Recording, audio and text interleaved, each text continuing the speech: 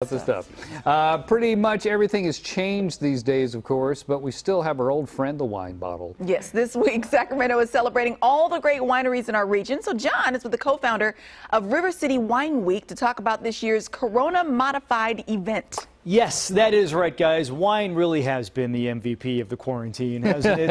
uh, Carrie Boyle is joining us live via Zoom this morning. Good morning. Thanks for being with us. Good morning, everyone.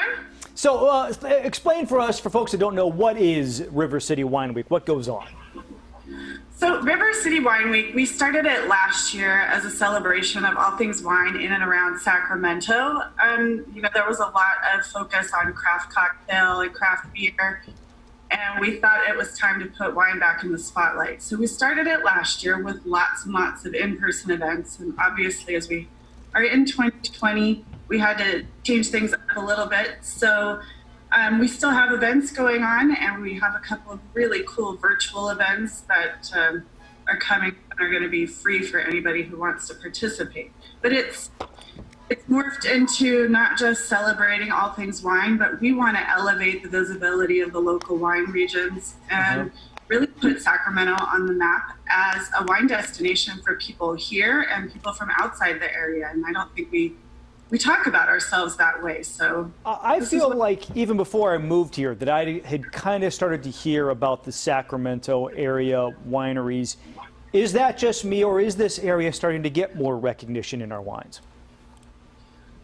I think that we're starting to get more recognition, but we, I think we still deserve more. We mm-hmm. have over 200 wineries within about an hour drive uh, from Sacramento, and of course, you know, Napa and Sonoma are not that far either. Um, so we want people to talk about it more. And when your wine loving friend on the East Coast says, Where should I visit? I want to take a wine vacation. We want everybody to say Sacramento. So let's talk about some of the events you guys do have going on. What can people do now through the weekend that's part of the River City Wine Week? So you, um, I'll say first, you can go to our website and see some of the events that are happening at local wineries. Um, there's a lot of things like food trucks paired with wine and music.